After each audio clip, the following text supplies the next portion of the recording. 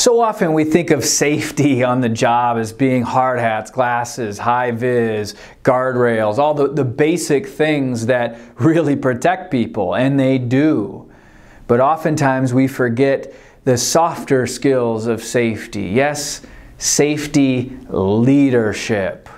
And that's what this video is about today. It's seven questions that every foreman, every superintendent, every project manager, and yes, every executive should be asking themselves about their safety leadership. The first question that we should be asking ourselves uh, is, do we relentlessly upgrade our team? Do we provide training ourselves or pay them to be trained by somebody else? But we should be upgrading our team. We upgrade our homes, our vehicles, our technology. Do we upgrade our teams with safety and personally demonstrating our commitment to doing that?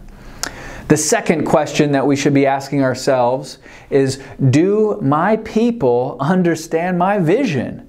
See, I might have the vision in my head, but if I can't, if I can't communicate that to them, then how are they going to carry that out? Yes, each and every person in our company should be able to state clearly what the company's vision is for safety. Zero injuries with a high level of pride and respect. The third question we should ask ourselves is do we get into our team's skin and exude positive energy for safety? Are we challenging them in a positive way and getting into their skin to really establish that expectation of safe work performance? The fourth question that we can ask ourselves is do I establish trust with my team by using candor and positive feedback and listening to them?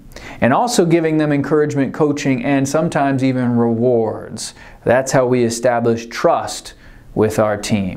The fifth question that I should be asking myself as a leader is do I ask good questions, effectively probing and pushing everybody on my job site or in my company as to where the weaknesses are, how we can develop, why these things failed, where we can improve, and how can we get to zero with pride and respect. Constantly pushing that.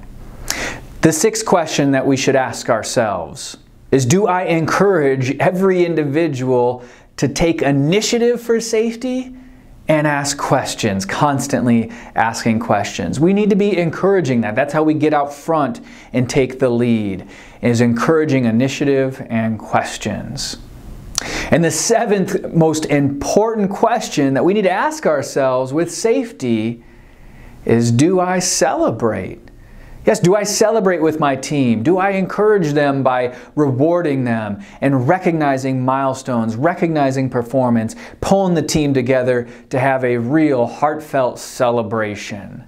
And yes, if we can ask those questions and we can answer them and we can work to develop the right answers so that we can produce results, well, we'll just, we're just going to do that. We're going to build year after year without injury and have a high level of pride and respect. So let's do that. Let's work hard, let's work safe, and do it with pride so that we can go home to be with our families.